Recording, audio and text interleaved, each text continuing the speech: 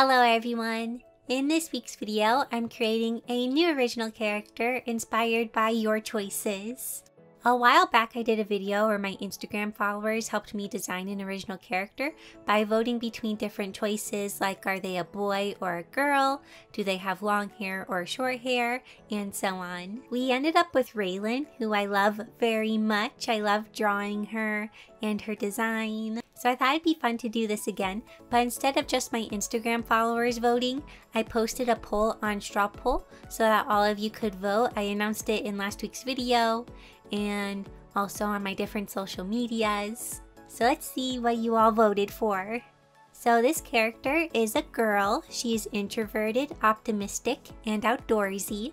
She is dressed for cool weather, wears glasses, her outfits are chic, colorful, and she accessorizes. She has long hair that is an unnatural color. Oh, also she is human.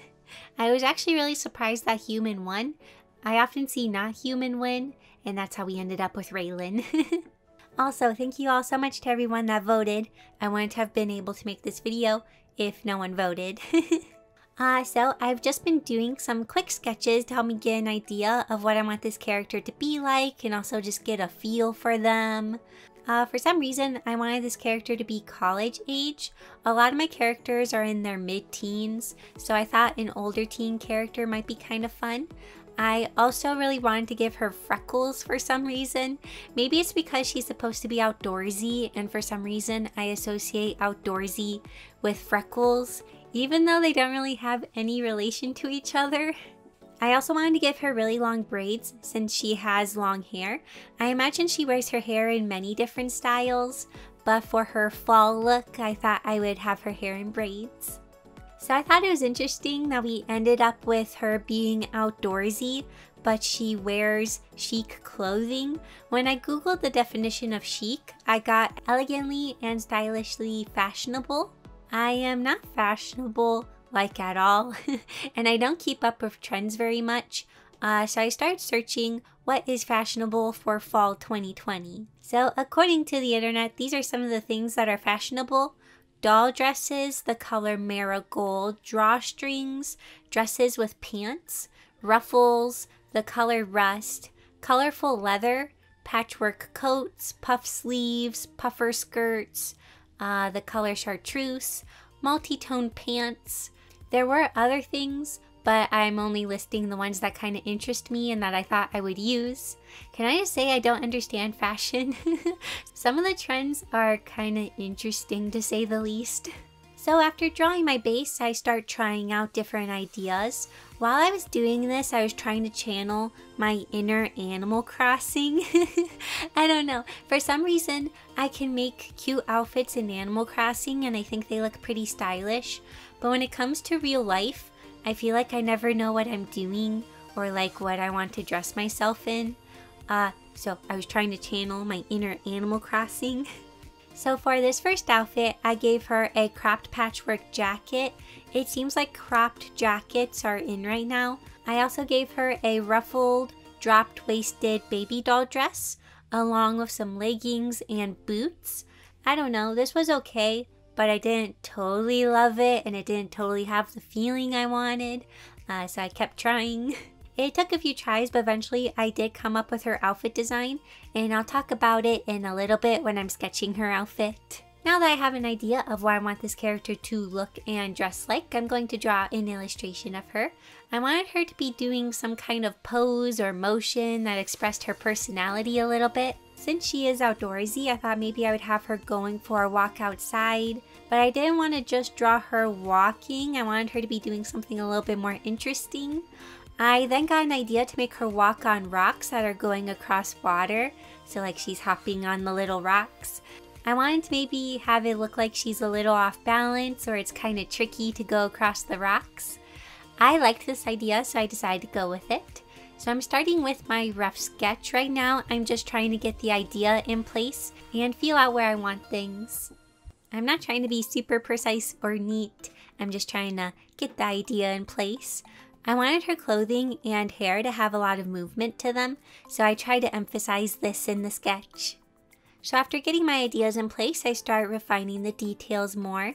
Now I'm starting to think more about proportions and making things look right. For her face, I wanted her to have a sort of surprised expression or kind of like a whoa. I also decided to give her tons of eyelashes because in my head she's wearing eye makeup like mascara, so I really wanted to emphasize the eyelashes. I also sketch in her freckles. I think she likes her freckles. She doesn't try to cover them with makeup.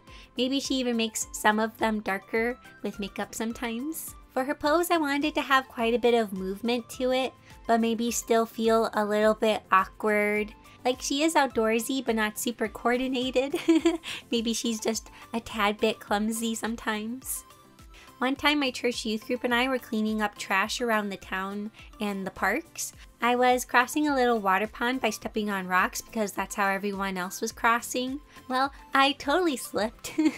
Thankfully, only one of my feet went into the water, but I had to walk around with a wet shoe for the rest of the day, and that wasn't really fun. It made my foot hurt for some reason. Speaking of shoes, I really struggled with her shoes for some reason.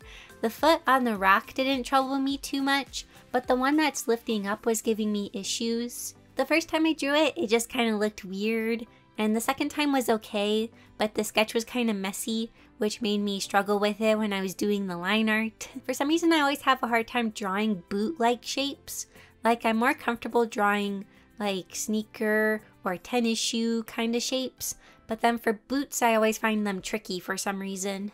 So about her outfit, she is wearing knee-high boots with a drawstring detail because drawstrings are trendy right now, I guess. Instead of giving her a cropped patchwork jacket, I'm giving her a really long one. I actually think the patchwork jackets are pretty cute. I kind of want one. I haven't seen one in real life, but maybe if I see one, I'll get it. I don't add a crazy amount of patches, just a few placed randomly around the jacket. I also decided to give her a scarf because she needs accessories. I didn't add a ton of accessories with this outfit just because there is quite a bit going on, so I didn't want it to feel too busy. And I really like scarves. Well, I like drawing them anyways. I never really wear them. I wasn't totally sure what to do for her lower half when designing the outfit. I kept going back and forth between pants and a ruffled skirt, but then I decided to go with a puffer skirt. To be honest, I thought they were kind of weird at first when I first saw them, but as I kept looking at them, they kind of kept growing on me and I thought it'd go kind of cute with her outfit. Oh, and her shirt is just a simple sweater being tucked into the skirt. I wasn't totally sure what style of glasses I wanted to give her, since this isn't a close-up picture on her face, I didn't want to give her chunky glasses that covered her eyes, so I decided to just go with a thin oval frame. For her hair, I wanted to give her super thick, long braids. I always think braids are so pretty, and I'm slightly jealous of people who can make really thick braids with their hair. My hair is pretty thin, so when I try to braid it, it creates this super small baby braid. Uh, so yeah, I'm living through my characters. I decided I wanted this illustration to focus more on the character and not the background. So I'm being stylistic with the background. I'm going to just draw the rocks and then I'll add a rectangle of different colors in it that I'll show in a little bit. So now I'm working on the line art for it. I'm using the rough pencil. Well, for most of it anyways. I accidentally use the G pen sometimes without noticing, uh, but it isn't too noticeable, thankfully. So this character can I just call her her name? I already named her. I wanted to reveal it at the end of the video, but I feel like things would be easier if I said her name now. Uh, so I decided to name her Gwendolyn. I wanted a name that sounded kind of unique and also kind of old schooly. I don't know, just kind of like what would the word be? Not mythical or magical, but just like fairy tale-ish. Like if you're reading a fairy tale, maybe you'd find someone named Gwendolyn. I don't know. I just thought the name suited her. She likes to go by Lynn. Her mom and dad call her Gwenny, uh, but if she's in trouble, they call her Gwendolyn.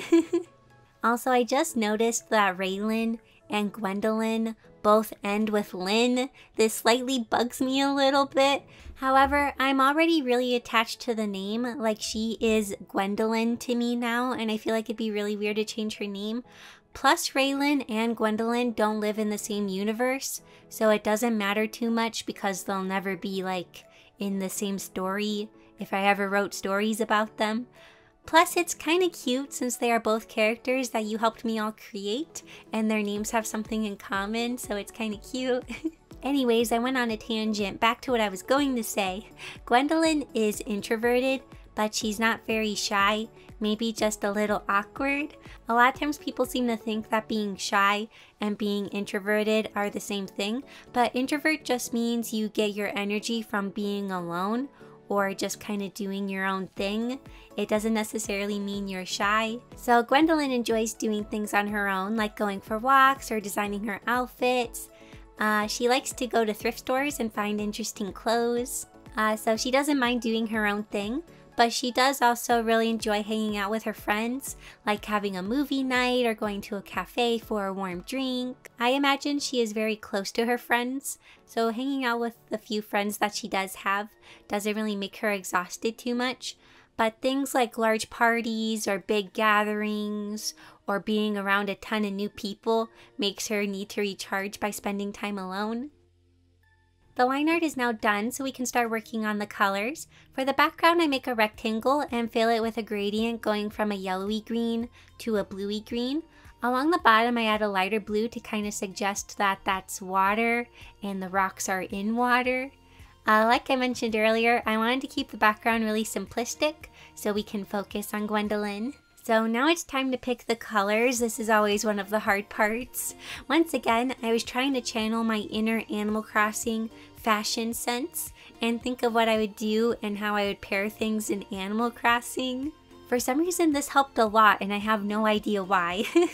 Marigold is pretty popular right now, so I make her sweater that color. I've also been seeing a lot of Hunter Green, mostly because my mom kind of keeps pointing it out, so I keep seeing it too. I don't know if it's trendy, but I feel like I keep seeing it everywhere. Uh, so I decided to make the skirt, scarf, and purse hunter green. I make the coat and boots a dark brown to add some contrast. To keep her legs warm, she's wearing some tan colored leggings that tuck into her boots. I'll talk more about her hair and eye color when I'm shading them.